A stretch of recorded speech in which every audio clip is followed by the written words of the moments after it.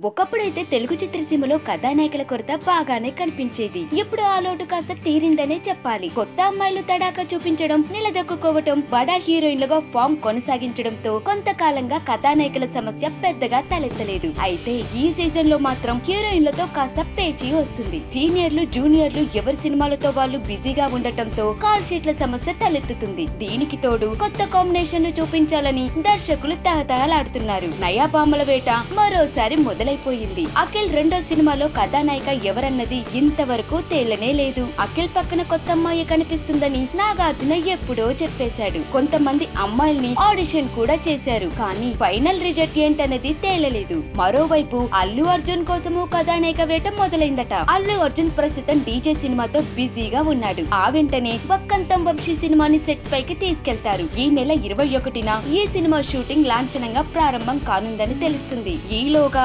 కథానాయకుని ఎంచుకునే పనిలో పడింది చిత్ర బృందం ఈసారి బన్నీ పక్కన కొత్త అమ్మాయి కనిపిస్తుందని తెలుస్తుంది. ఇటీవల గీతా ఆర్ట్స్లో కొంతమంది అమ్మాయిల్ని ఆడిషన్ చేశారట. వాళ్ళలో ఒకరిని ఎంపిక చేయటం ఖాయమని సమాచారం. సో ఈ రెండు క్రేజీ సినిమాల్లో కొత్త అమ్మాయిలే కనిపిస్తారన్నమాట.